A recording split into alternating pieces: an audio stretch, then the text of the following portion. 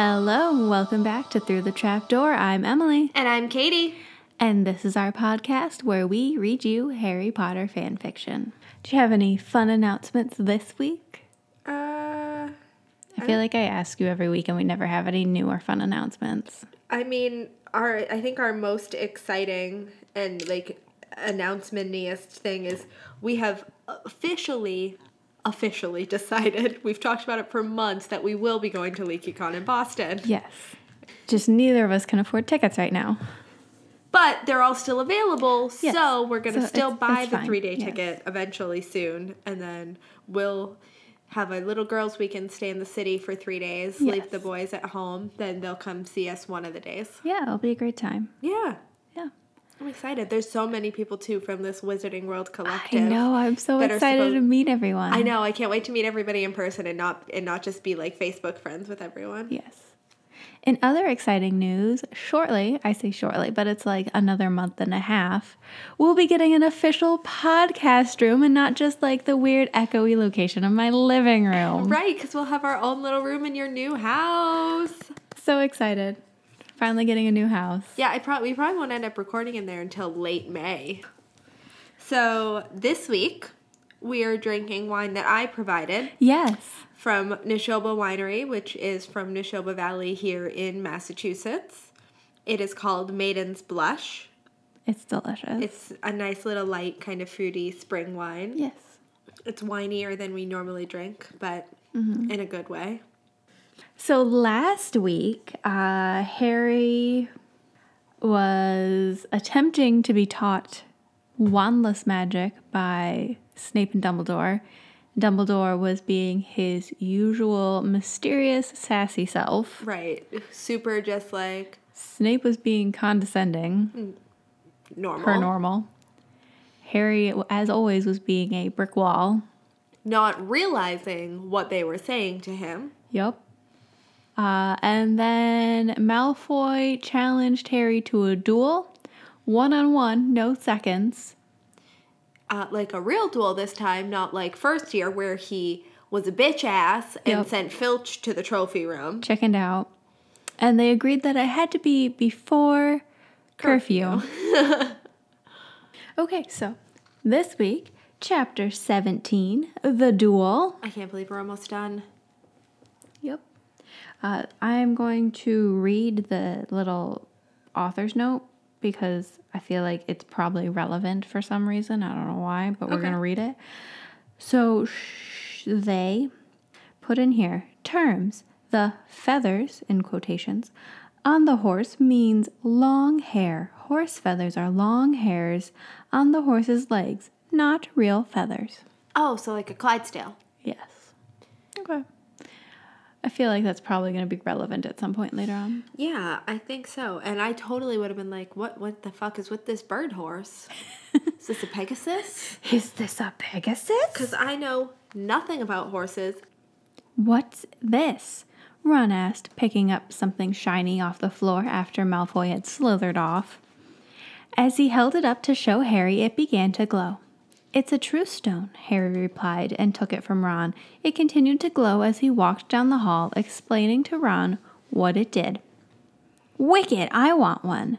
Ron licked his lips, which had blood on them from where Malfoy had split his lower lip. I don't Oh, I forgot they wrestled. Oh, that's right. They wrestled. I was like, what?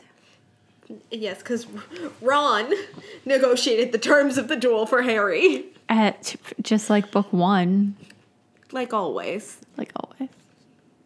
Harry wanted to put the invisibility cloak over him. Do you think Malfoy will miss it? It's not like his father can't buy him a new one. No, Harry placed the chain and the stone into a pocket. They're rare, and Malfoy might accuse you of stealing it if he saw you with it. I'll give it to Professor LaSalle, which reminds me, you should probably put on the invisibility cloak. Oh, that's right, because Ron's coming to his lesson. Oh, I forgot they were going to go do that. Ron stopped and pulled out the cloak. Do you think he's going to snitch? Not if he doesn't want the whole school to find out you beat him up. How do I look? Can't see a thing. Good. Now be quiet. We're almost there, Harry cautioned. You know what, though? Shh. That felt good. What did? Breaking Malfoy's nose. It felt like moving through the Floo network, only without all the smoke and ash. As soon as he felt his feet planted firmly on the lawn, he had to check himself to make sure that all of him had made it successfully over to where Snape stood. It's about time, Snape commented harshly. He was in a sour mood, an exceptionally bad one. That was wonderful, Harry, LaSalle said gleefully. You caught on quick. No splinchings, no winding up in the middle of the Forbidden Forest. They stood outside on the lawn. Harry had successfully apparated from one point at the edge of the Forbidden Forest to a place a few yards away at Snape's side. Now try again. Professor Snape wasn't half as pleased looking as LaSalle. So Harry held tight to his wand and uttered the spell while concentrating on the point where he wished to apparate. The whole incident with Draco Malfoy was pushed to the back of his mind with the excitement of learning this new spell. He wished he could see Ron's face as he glanced over at Hagrid's vegetable patch to where he knew Ron had taken a seat on a nearby tree stump. Now remember, Snape explained as he walked across the lawn toward Harry, who had just apparated next to Professor LaSalle. Remember to keep a clear idea in your mind of your destination and never, never try to disapparate without your wand. It is important that you only use your wand. This is a spell that cannot be done safely with a borrowed wand. Are you listening to me, Potter? Yes, Professor. Only attempt to apparate without my wand. Snape got furious at this while LaSalle laughed with Harry. I think he heard you the first time, Sev, LaSalle broke in. You've got the hang of it, don't you, Harry? Professor LaSalle had lightened up somewhat, and Harry was thankful that he had. He didn't know if he would have survived apparition lessons otherwise. Well, now, is that it for today? I believe it is. No. Snape had an odd look on his face, one that Harry couldn't discern, similar to the one at the end of last year's feast. Dumbledore is supposed to be here. He is? LaSalle looked puzzled, then his face darkened. Oh. Suddenly, Harry remembered the True Stone. If Dumbledore was supposed to be joining them, he thought it best to return it now. Professor LaSalle, he pulled the True Stone from his pocket. I found this in the hall. I think it belongs to Malfoy. He drew out the dull white colored crystal fastened to the silver chain. LaSalle drew it away from Harry, who was reminded that he couldn't come in contact with the professor. So he turned to Snape, who held out his hand for it. It started to glow as Harry handed it to him, and it continued to do so as Snape tucked it safely away. Headmaster? LaSalle was looking over the lawn at an approaching figure. Both Harry and Snape turned to see. And how are the lessons coming along? Dumbledore's voice was soft and friendly, yet Harry picked up an uncharacteristic hint of sadness.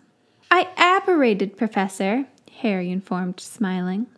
Ah, yes, very good, Harry. Remember, though, you can't apparate into Hogwarts, and you must always use your wand. Not Mr. Weasley's, not Miss Granger's, but only yours. Harry swore that he caught a sly look pass from Snape to LaSalle. So, Dumbledore sounded so old. Everything ready for tonight? Everyone's been contacted and the potion is ready? Snape gave a curt nod. And is everything set as far as you're concerned? He asked gravely of LaSalle. Yes, headmaster, LaSalle replied quietly. Dumbledore placed his hands behind his back and let out a long sigh. He studied the grass before turning to Harry. Did you bring an extra change of clothes with you, Harry? Harry nodded sickly as he now realized what the change of clothes was for. I brought an old pair of robes, he explained. I thought that they were going to be used for for a lesson involving cauldron cakes or something. He felt so stupid after saying this. Cauldron cakes? Dumbledore chuckled as he glanced at Snape. You're using cauldron cakes in your lesson, Severus? I would have never given it a thought. Normally, Harry would have expected Snape to scowl, but his mouth curled up into a sort of smile.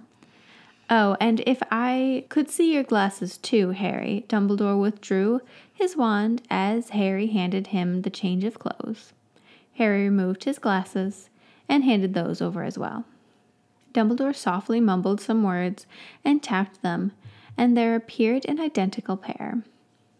I feel bad, Harry said as Dumbledore returned his glasses to him. You having to turn into me for this? And why should that make you feel bad? Dumbledore was digging through his pockets. He stopped when he found what he was looking for and brandished a small pair of golden scissors in the shape of a crane. Well, you're a great wizard, Harry explained. Are you going to fight Voldemort looking like me? Because you should look like you. It wouldn't be right. No? There was a brilliant flash of color, then the fluttering of wings. Harry felt something settle down on his shoulder. Dumbledore leaned back and smiled. It will be an honor. I'll be transforming to look like another great wizard. And if you don't agree, I believe Fawkes would vouch for me. Harry turned his head to see the scarlet and gold phoenix perched on his shoulder. Now see here, Dumbledore said jokingly as Fawkes put his head next to Harry's ear. What's the meaning of this? Don't like this old man any more? As if in response, Fawkes flapped his enormous wings and glided over to sit on Dumbledore's shoulder. Dumbledore reached up and stroked lovingly the bright plumage. I thought I'd take him outside for a bit, let him stretch his wings. He smiled and turned back to Snape. How's Bertram doing? Snape looked somewhat startled by the question. He turned away before replying in a barely audible tone, I let him go. Evidently, Dumbledore hadn't been expecting this response, and it troubled him. Harry could read it in the way he was looking at Snape, who was trying to avoid him. When it seemed that Snape was not going to turn around, Dumbledore approached Harry. Harry, I'm going to need some of your hair for the potion. He placed the clothes on the ground with the small golden scissors and trimmed a small lock of Harry's messy black hair and placed it into a small pouch. Harry couldn't stand it any longer. I need to go with you, he stated firmly. This is partly my fault, Voldemort being back. Dumbledore's face crinkled up, and Harry swore that he saw tears forming in the wizard's eyes. No, Harry, he said ever so softly. You have done so much. He threw a comforting arm over Harry's shoulders. Never think that Voldemort's existence is your fault. But if I hadn't been there last year, there's nothing you could have done. It was my fault for not catching Crouch. Years ago, I would have never let such a thing slip by. He trailed off. No, I failed you. You should have never had to have had gone through such an ordeal. I should have been there that night with you. Fawkes stretched his wings, embracing both headmaster and student in glistening feathers. Harry looked over and spotted a tear that had trickled down Dumbledore's cheek, lodged itself by his crooked nose. Now, now, he said, drawing away. What's past is past. We must now look to the future. Do things best we can. So tonight, I don't want you to worry. I have faith that all will be put right tonight. And the one thing I ask of you is to stay in the castle. Don't leave, even to visit Hagrid. Then he said in a louder tone, I'm sure that you and Mr. Ronald Weasley can find something to do inside the school. In fact, I'd like to ask Mr. Weasley to be sure that you do. Harry had to smile. How'd you know? he whispered. Dumbledore chuckled. When you're as old as me, you'll know too. I'm an old man, Harry. An old, old man. And Dumbledore turned away, heading towards Snape with Fawkes still standing guard on his shoulder. Now run along, Harry, and try not to worry yourself too much about this. Harry felt absolutely horrible about the planned duel for that night. Then again, Malfoy had made him so angry. He was Death Eater material, no question. And his father was probably out, well, hopefully Sal would be successful in distracting him. He walked alone down the long corridors, thinking about Dumbledore and Snape and Sirius and Lupin. The sunset had been violently pink and it lit up the hallways, but was now slowly fading as darkness fell. He'd make this quick. He'd put his full energy behind some simple disarming spell and have Malfoy knocked out against the wall before the duel had barely begun. Then he could return to his room and just wait for morning. He came to the spot where Malfoy had said that they should meet, and he waited. It wasn't quite nine yet, so he slid down to the floor and sat studying his wand. It was rather beautiful, a simple work of art. The wood was polished to where it nearly shone, and the handle was carved so it fit in his hand. Though now his hand was much larger, and if he grew any more, it might not fit so perfectly. So you ready? Malfoy loomed over him, his black robes making his complexion even paler. His hands were set firmly on his hips. I've been waiting here. And Harry heaved himself up off the floor. Shall we then? The way Malfoy was looking at him gave Harry the urge to just throw their wands aside and decide this with fists. they were about the same height, but Malfoy had a rather frail build. Harry followed him deeper into the dungeons. At least he wouldn't have to worry about Snape for once. He felt truly sick with worry for the greasy potions master. Malfoy stopped at a heavy wooden door and tried the knob. Alohomora, he commanded when that didn't work, and the door clicked open. After you. I don't think so. Harry was still waiting for some sort of deception. You go first. You still don't trust me, Potter? Malfoy tried to sound hurt. Really? I'm looking forward to this duel. I found it. There it is. no, I wouldn't trust you behind a canut, Harry muttered as Malfoy entered the room. It was evidently used for potions in progress, as there were numerous cauldrons bubbling over fires in the back. There seemed to be enough room for a duel, though, and it appeared vacant. He scanned the room carefully before entering, just to be sure. It's only me, see? No tricks, as I promised. For once it seemed as if Draco was speaking the truth. He stepped into the center and withdrew his wand, but as he did, the door slammed shut and the lock slid across, apparently on its own. A horrible feeling crept into him. There was someone else in the room. His heart raced as he looked around. Then it occurred to him that the person could be invisible. You deceived me! Harry tried to sound more angry than scared, but it didn't come out that way. There's someone else here! I don't see anyone, Malfoy said shyly, and I kept my word. No Crabbe, no Goyle, no other friends of mine, no professors. Wildly, Harry tried to sort out who could be left. The Bloody Baron? No, a school ghost would never harm a student or take part in any silly duel. Why did he have to be so stupid? Oh, I will admit that I did invite one person, Malfoy said offhandedly. Since you seem to have had so much to say about my father, I thought it would be nice if I gave you the chance to say it to his face. A sick feeling hit him. He needed to get out now. There were no windows, only the door. Harry gripped his wand tightly and made a run for it. But as he had feared, he didn't make it to the door. Lucius Malfoy tore off an invisibility cloak and stood squarely in front of him. Harry stopped just before hitting him and thought quickly. Putting his newfound strength behind his wand, he yelled out, Expelliarmus! Mr. Malfoy was thrown off his feet his back slammed against the door, and the wind knocked out of him. As he slid to the floor, he stared wide eyed at Harry. Crucio! Harry whirled around in time to see Draco with his wand raised and his face an expression of sheer and utter glee, as this was the first time he could use this curse on a person. A flash of light burst from his wand. It was too late to block it entirely, but Harry managed to lessen the effect. A pain ripped through him, causing him to stumble. He staggered for a moment.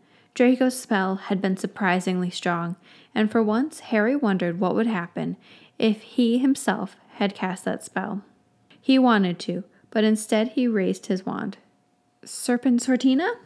A snake burst from the tip of his wand, just as it had with Snape whispering in Draco's ear several years ago. Get him, Harry commanded and pointed to Draco. He's trying to hurt me. He's a Parselmouth? He heard Lucius croak. Lucius Malfoy was getting up, rubbing his head and licking at the blood on the corner of his mouth. Harry turned to face him while Draco was kept busy with the snake. You're a tenacious brat, Lucius spat. Draco, stop playing around with that snake. I may need your help. Oh, Lush. From behind him there was a bang, and Harry thought he heard the snake scream out, but didn't turn around. Lucius was far more dangerous than his son, and Harry didn't dare take his eyes off of him. Lucius's wand suddenly burst with a bright light, and cords shot towards Harry to bind him. But he was successful in repelling them until his legs were pulled out from under him. Draco had him by his knees, and he was struggling to keep Harry pinned to the floor. Harry struggled to raise his wand to cast some spell on Draco. However, something crunched down on his arm hard. He gasped in pain as he looked over to see Lucius Malfoy's boot on his wand arm. His wand was torn from his fingers. Then Harry watched in horror as Lucius, in a fit of rage, snapped Harry's wand over his knee and threw the pieces into the fire under one of the simmering cauldrons. The fire hissed hungrily and briefly grew in brilliance as it consumed the broken wand. Harry saw the wood split and a red feather curl against the heat. There, enough of that nonsense, Malfoy muttered as he removed his foot off Harry's arm and repeated the spell with the shining cords, and this time Harry couldn't block it. Once Harry was bound, Draco stood up and stared down at him. I'm so sorry, Potter, but you chose your own fate. I will say I'm sorry that you didn't choose your side better, for I must admit you're very good. You and I would have made a wonderful team. Stop crowing, Draco, and tell me what time curfew starts. Mr. Malfoy was picking up his invisibility cloak off the floor.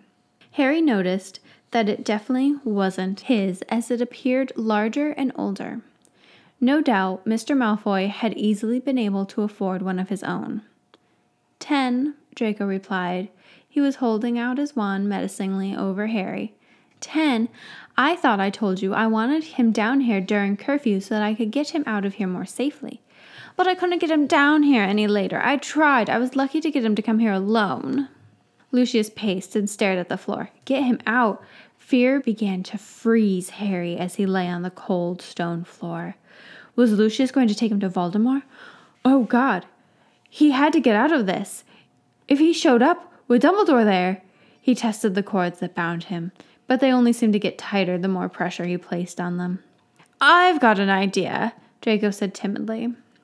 He seemed jumpy around his father. Lucius stared skeptically at his son, an eyebrow raised. It will be easy, Draco assured. Out with it then. Lucius was jumpy too. Um, Draco's voice was shaky. We put the invisibility cloak on him, then I walk out with you. I'm not supposed to be here, his father pointed out gruffly.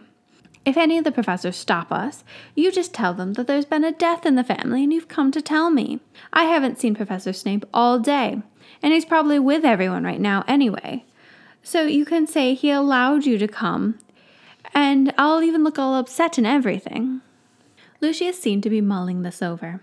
His son actually had come up with a feasible plan. All right, he said at last, and he pointed his wand at Harry's throat.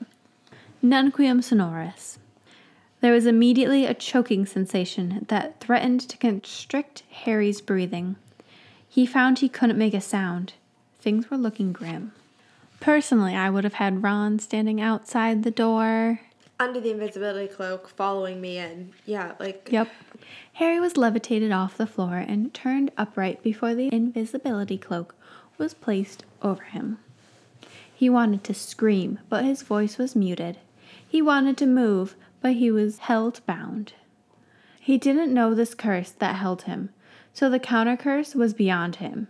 Desperately, hoping to find something that worked, he attempted to call upon the magic power inside him, trying to direct it at the magical cords that bound him. But all he seemed to accomplish in doing this was making the cords stronger. They had made their way up to the main floor and they were walking across the great red carpet that led to the main entrance. Frantically, Harry tried to come up with something. Anything. He squirmed, attempted to jar the invisibility cloak, to make it slip, but the cords got even tighter. Fighting against the pain from the pressure, he jerked his head madly before spotting Professor McGonagall coming their way. Lucius Malfoy, she said darkly, I did not know you had stopped to pay a visit. She looked up and down at his full black robes and cape.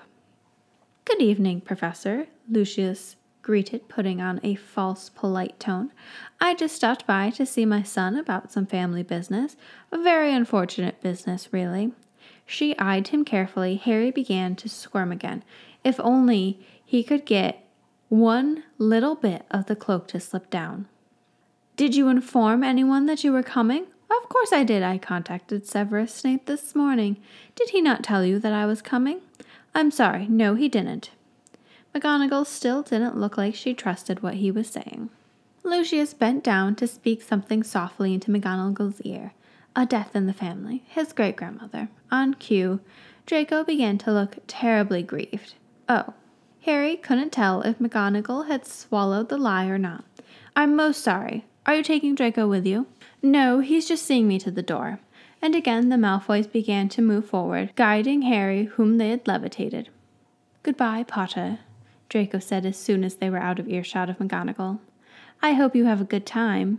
I have never had the chance to meet the Dark Lord before. I'd ask you to tell me all about him, but unfortunately, I don't think you'll be able to. And with that, he marched off back towards the dungeons. Harry gave one last attempt to dislodge the cloak. The cords tightened. It felt like his hands and feet were about to be severed. Still, he struggled until a pain fogged his mind and vision.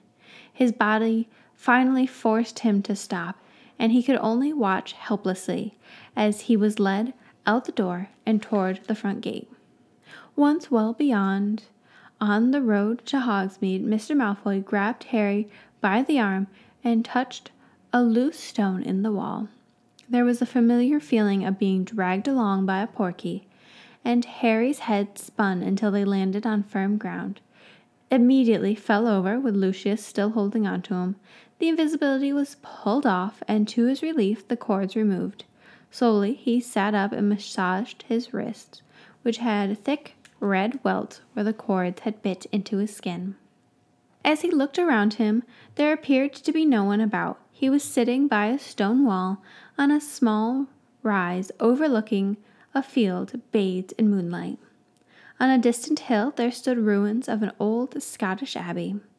A sharp whining pierced the night air, and Harry turned to see a large gray horse tethered to a scrawny, wind-beaten tree.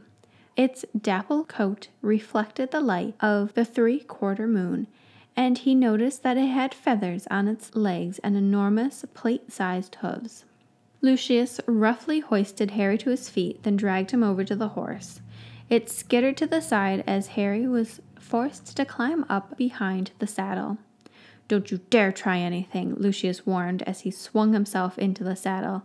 This Magnus mare happens to be extremely loyal to me. If anything happens, she's been known to bludgeon men to death with her hooves. Malfoy pulled the hood to his black cloak up over his head and pulled out a mask, a Death Eater mask, and positioned it on his face before gathering up the reins. Harry didn't know what else to do but hang on to the back of the saddle as Lucius kicked the horse in the flanks. They started out at a canter across the field, the mare's hoofs throwing clumps of sod as it went.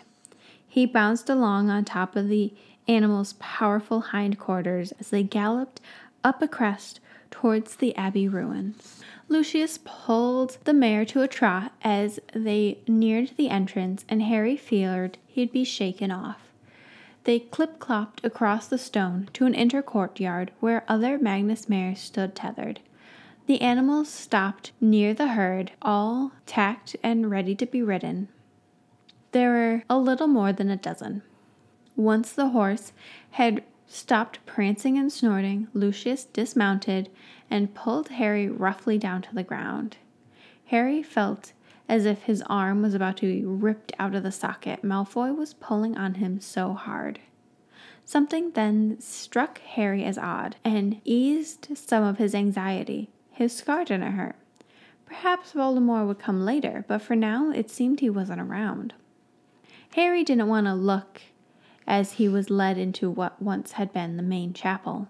The roof was gone, the windows gone, weeds now sprouted between the stones on the floor. He was afraid of seeing Snape and Dumbledore. I've brought a gift, Lucius proclaimed loudly upon entering. About fifteen Death Eaters turned to face him, their white masks blank. Lucius' boots clicked across the stones as the emotionless masks watched. It was then that Harry noticed that one of the Death Eaters seemed to stand out from all the rest. His hair was not hidden by a hood, it hung down to his waist in a ponytail, and he held in his long, thin fingers a mage's staff, the stone of which was putting off a soft green glow. End of chapter 17. Jesus Christ. Fun author's note at the end. Did any of the shrewder readers out there notice what happened when Harry tried handing the truth stone to LaSalle as opposed to Severus? I did notice that it didn't glow for LaSalle, but it did for Severus. I noticed that too. I'm so excited. We only have a couple chapters left. I know, I can't believe the story's almost over. I think that's it for now. All right, I was going to ask if you had any final announcements, but apparently not. No, I don't think so. All right, we'll see you guys next week. See you next week. Thank you so much for joining us on our journey through the trap door. Please leave us a review on Facebook or iTunes. It would literally mean the world to us. It really would. Uh, you can find us on Facebook and Instagram at Through the Trapdoor 16 or on Twitter at The Trapdoor. And please send us an email at throughthetrapdoor16 at gmail.com with any story suggestions. And as always, join us again next Saturday as we travel through the trapdoor.